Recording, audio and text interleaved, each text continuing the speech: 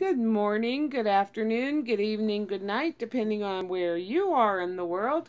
This is Gloria White, and I'm coming to you from Utah, USA.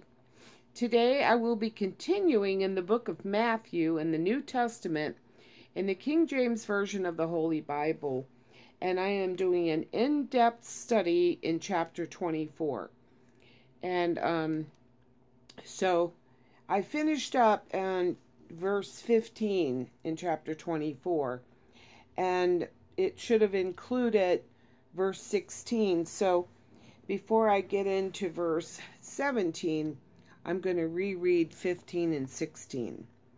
Verse 15 When ye therefore shall see the abomination of desolation, spoken of by Daniel the prophet, stand in the holy place, whoso readeth let him understand.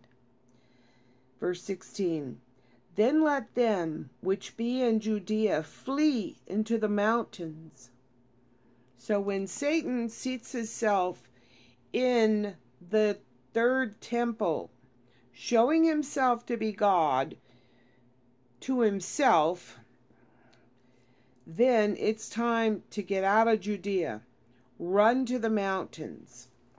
And in verse 17, it says, Let him which is on the housetop not come down to take anything out of his house. You don't have time. You have to just run out of the into the mountains. Verse 18 Neither let him which is in the field return back to take his clothes. Just run to the mountains and verse 19. And woe unto them that are with child, and to them that give suck in those days. Now, this reference is Luke 23 29. And I have tried, for time's sake, to um, mark these verses with bookmarks here. Luke 20, I cannot see without this magnifying glass. All right, verse 19. Luke 23, 29. Here we go. And verse 29, I'll read 28 with it. But Jesus, turning unto them, said, Daughters of Jerusalem, weep not for me, but weep for yourselves and for your children. For behold, the days are coming, in the which they shall say, Blessed are the barren, and the wombs that never bear, and the paps which never gave suck. And then we will go back to Luke, I mean, to Matthew 20. But pray ye that your flight be not in the winter neither on the Sabbath day. Why the Sabbath day? Because you're supposed to rest on the Sabbath day. Some believe that Jesus is our rest, and that is true, but the Sabbath day has not changed. And then, um, let's see. And then let it be not in the winter. Why? Because in Jerusalem, in Judea, in the winter, it's wet. That's a rainy season, and it's cold, and that you would have to try to run away through the mud and the muck and, to get into the mountains for safety. And then we want to go to verse 21. For then shall great tribulation for then shall be great tribulation, such as was not since the beginning of the world to this time, no, nor ever shall be. And except those days should be shortened, there should no flesh be saved, but for the elect's sake those days shall be shortened. So now if we look at verse 21 when it says, then shall be tr great tribulation. The reference on that is Dan Daniel 9:26. So I mark this as well. Isaiah. Uh, I have so many bookmarks in here. I tried to do this to save a little time. 926. No. Yep, 926. And after three score and two weeks shall Messiah be cut off, but not for himself. And the people of the prince that shall come shall destroy the city and the sanctuary, and end thereof shall be with a flood, and unto the end of the war desolations are determined. So, the abomination of desolation, he is the desolator, and that is Satan. So, here, and after three score and two weeks shall Messiah, this is an unfulfilled prophecy, be cut off, or in that that translates into suffer the death penalty, but not for himself. And the people of the prince that shall come shall destroy the city and the sanctuary, and the end thereof shall be with a flood, and unto the end of the war desolations are determined. And he shall confirm the covenant with many for one week. It's going to make peace. And in the midst of the week, he shall cause the sacrifice and the oblation to cease. And for this overspreading of abominations, he shall make it desolate, even unto the consummation, and that determined shall be poured upon the desolate. Whew. It's not going to be good for him, but it'll be good for us. Now, back in Matthew chapter 20, uh, verse 22. And except those days sh should be shortened, there should no flesh be saved. But for the elect's or the chosen's sake, those days shall be shortened. And that we can refer to in Isaiah 65, verses 8 and 9. Uh, chapter, chapter 65, verse 8 and 9. Thus saith the Lord, as the new wine is found in the cluster, and one saith, Destroy it not, for a blessing is in it. So will I do for my servants' sake, that I may not destroy them all. And I will bring forth a seed out of Jacob, and out of Judah an inheritor of my mountains, and mine elect shall inherit it, and my servants shall dwell there. He's telling us He's going to be triumphant. He's going to defeat the desolator. He's going to grind him into dust. Now, verse 23 Then if any man shall say unto you, Lo, here is Christ, or there, believe it not. And that can be referenced in Luke chapter 17, verse 23.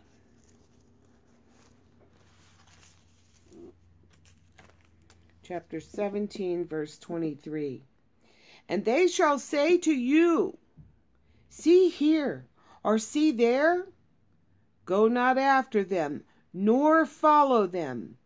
For as the lightning that lighteth out of the one part under heaven, shineth unto the other part of under heaven, so shall the Son of Man be in his day.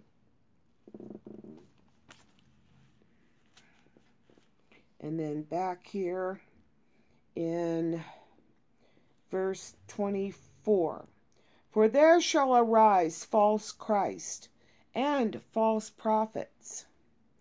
Just as it, there weren't false Christ in the Old Testament, but there were a lot of false prophets and lying prophets, and shall show great signs and wonders, insomuch that, if it were possible, they shall deceive the very elect.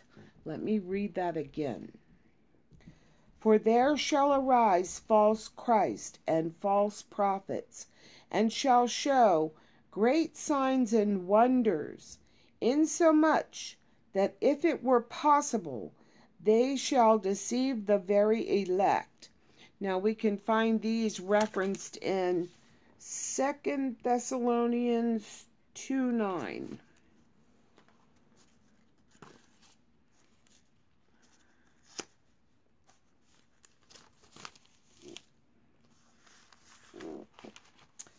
So here in Second Thessalonians 2, verse 9, even him whose coming is after the working of Satan with all power and signs and lying wonders, and with all deceivableness and unrighteousness in them that perish, because they receive not the love of the truth, nor they might that they may might be saved.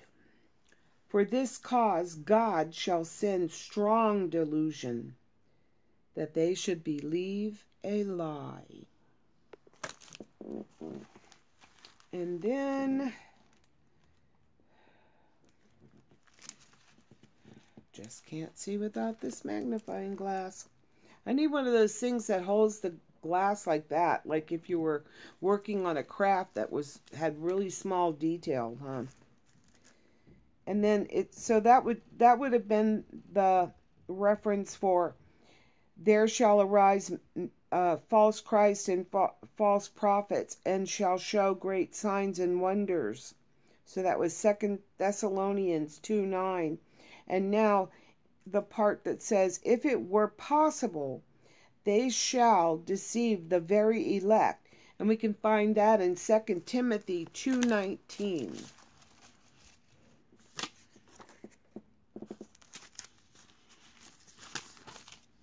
So 2 Timothy 2, verse 19. Nevertheless, the foundation of God standeth sure, having this seal The Lord knoweth them that are his. And let every one that nameth the name of Christ depart from iniquity. Now, what does this mean? Turn from your sins. Turn back to Him. Turn away from sin. Sin is death. Verse 25 Behold, I have told you before. Remember, He told us, He said, I told you all things. 26 Wherefore, if they shall say unto you, Behold, he is in the desert. Go not forth. Behold, he is in the secret chambers or the inner rooms. Believe it not. For as the lightning cometh out of the east, and shineth even unto the west, so shall also the coming of the Son of Man be. Verse 28 for wheresoever the carcass is, there will the eagles be gathered together. And that can be found in Luke 17, 30, I mean 24. 17 verse 24. For as the lightning that shineth out of the one part under heaven shineth unto the other part under heaven, so shall also the Son of Man be in his day. So, and will be changed in the twinkling of an eye. Now, where were we? 27, we're in verse 28. For wheresoever the carcass is, the, wait, I think we just did that. There, okay. Verse 29. Immediately, immediately, not sometime after, but immediately after the tribulation of those days shall the sun be darkened, and the moon shall not give her light, and the stars shall fall from heaven, and the powers of heaven shall be shaken. Now we can find that in um, Daniel 7:11 and the other part in Ezekiel 32:17. So to complete this entire verse, we need to go to Daniel 7:11 and then Ezekiel 32:7. Oops. Okay. So in hmm. verse 28 I mean 29, it says, immediately after the tribulation of those days. So that is Daniel 7:11 and it says, I beheld then because of the voice of the great words which the horn spake. I beheld even till the beast was slain, and his body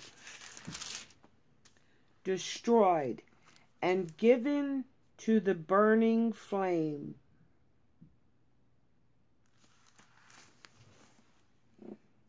And then it says in verse 29 in Matthew 24 to continue, Shall the sun be darkened, and the moon shall not give her light, and the stars shall fall from heaven, and the powers of the heavens shall be shaken and we're going to refer to Ezekiel 32 7. Okay, and then we can follow that up in Ezekiel 32, verse 7. And when I shall put thee out, or out, or the land, wait, oh, put out thy light. Oops, sorry, we're tilted there. Um, verse 7 and when I shall put thee out, or put out thy light, I will cover the heaven, and make the stars thereof dark. I will cover the sun with a cloud, and the moon shall not give her light. And all the bright lights of heaven will I make dark over thee, and set darkness upon thy land, saith the Lord God. When we go back to Matthew 24, and we are in verse 30, and this is an unfulfilled, sorry, this is an unfulfilled prophecy that says, And then shall appear the sign of the Son of Man in heaven, and then shall all the tribes of the earth mourn, and they shall see the Son of Man coming in the clouds of heaven with power and great glory and he shall send his angels with a great sound of a trumpet, and they shall gather together his elect from the four winds, from one end of heaven to the other. Now let's break that down. The um, in verse 30 it says, And then shall appear the sign of the Son of Man in heaven. And we can find that in Daniel chapter 7, verse 13 and 14. Mm-hmm.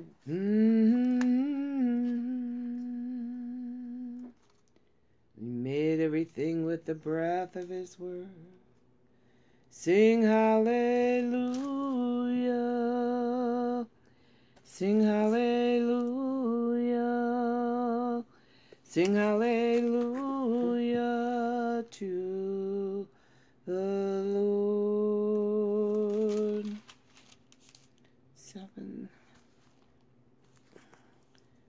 if I could remember for one second, from one second to the next. Daniel 7.11. Down here at the bottom of the page. Oh, sorry, we're tilting. I beheld then, because of the voice or the sound of the pompous words, of the great words which the horn spake.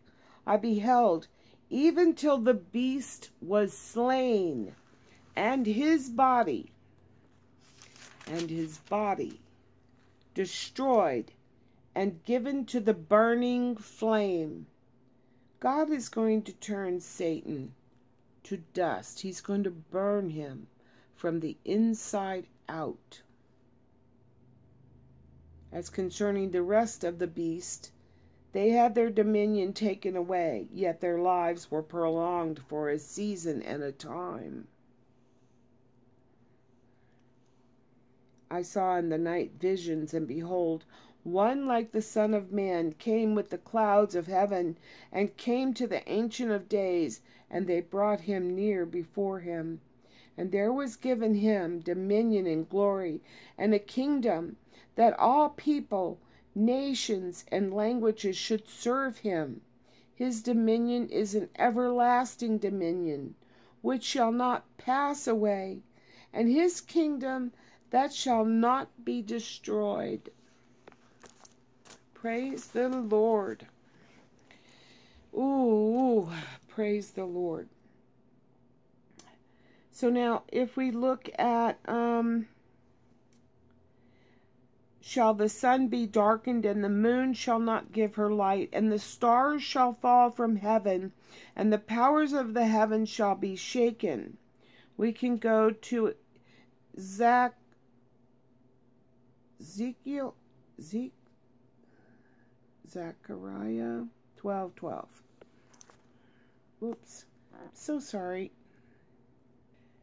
And in Zechariah 12 12 it says, And the land shall mourn, every family apart.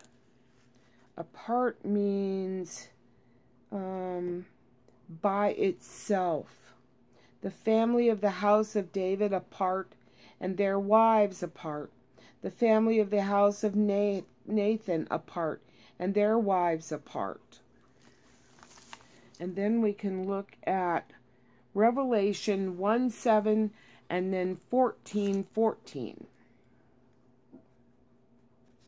Okay, so in Revelation chapter 1, verse 7, it says, Behold, he cometh with clouds, and every eye shall see him, and they also which pierced him.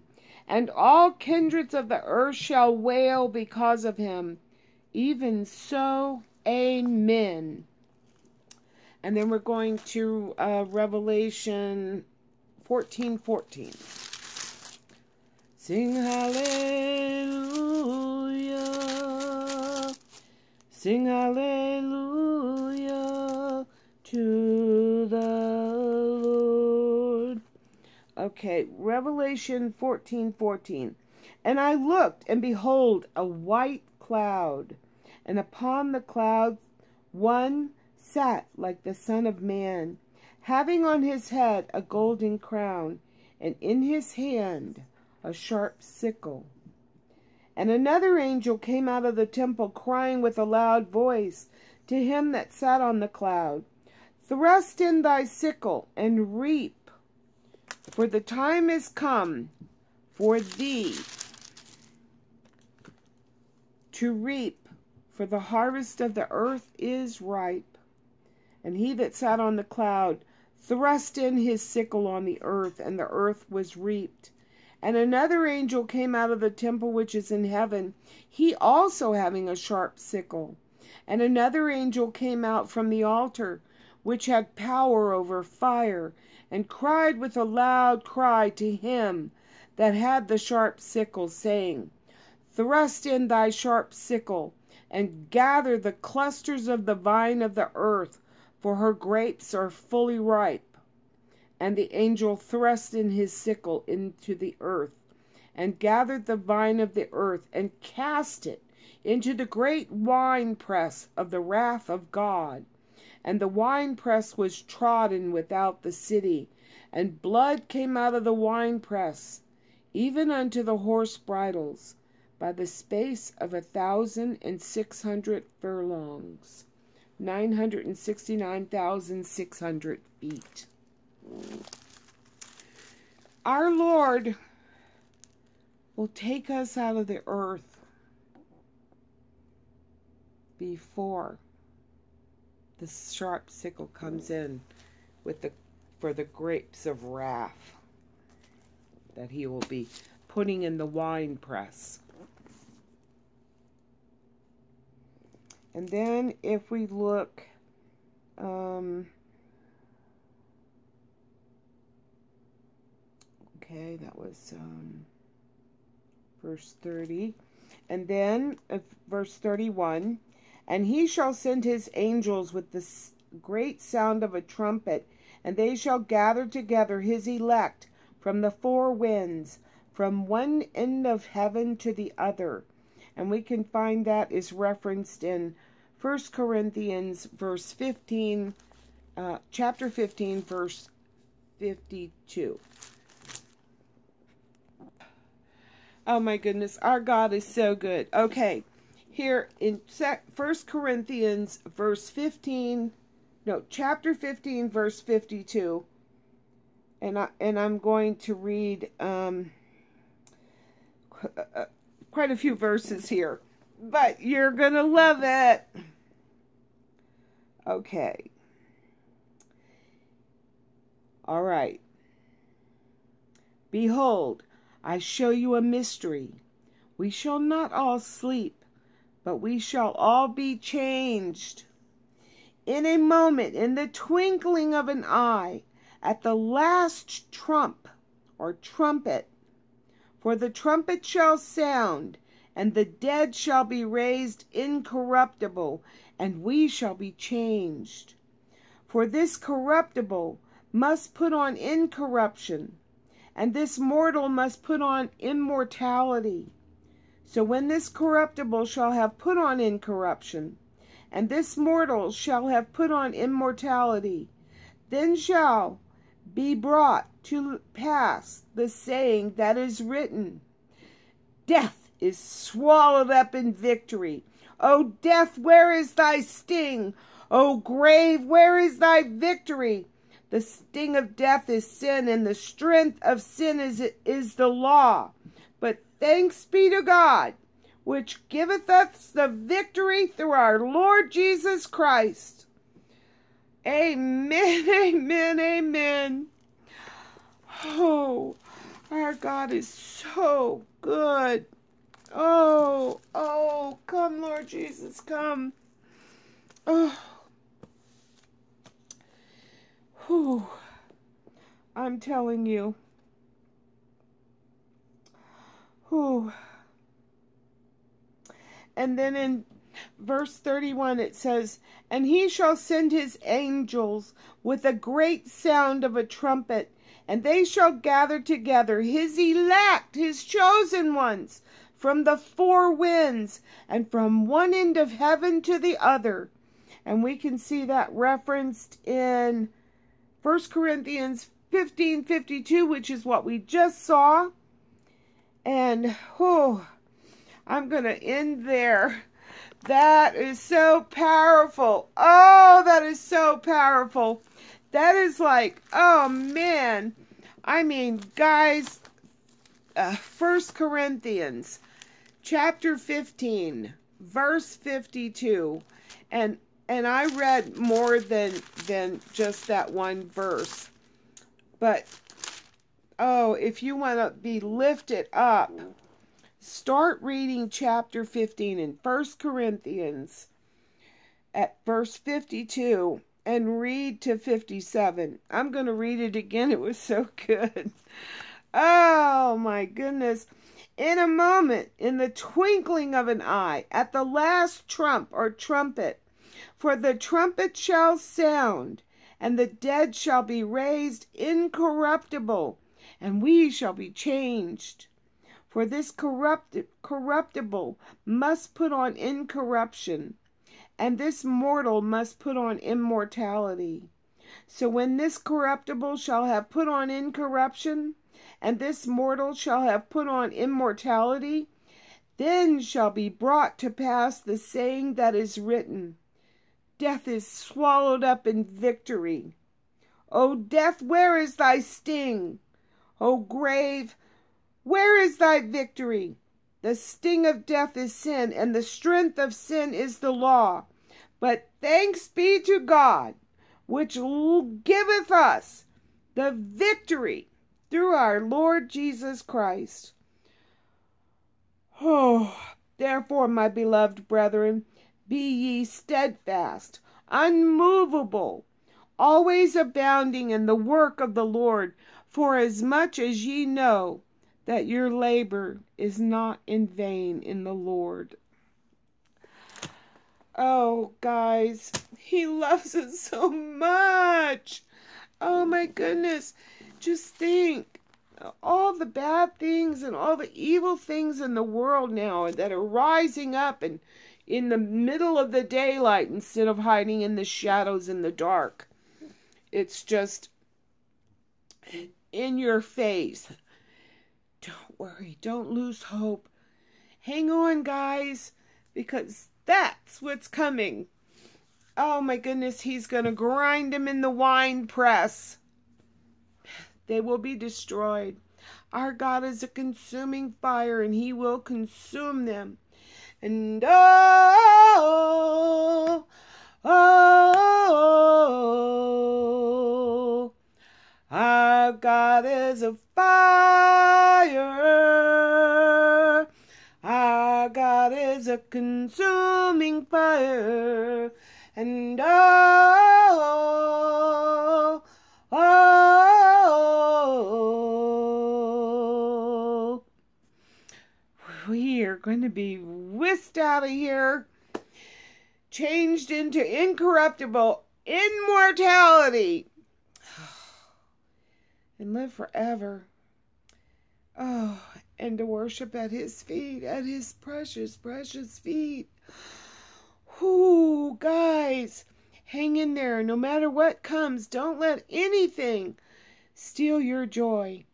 And don't let anything take your hope. Because he is our hope. He is our salvation. He is our rock. Build your house on the rock. Your foundation should be the rock because nothing in this world can shake you then. Oh, it may come around and rumble and tumble and make awful sounds, and it might even scare you. oh, but just hang in because in the end we win. Oh, death, where is thy victory? You fail! You fail! Our Lord has conquered. Oh, He has paid the ultimate price for our salvation. Don't waste it. You know, and as always, I love you.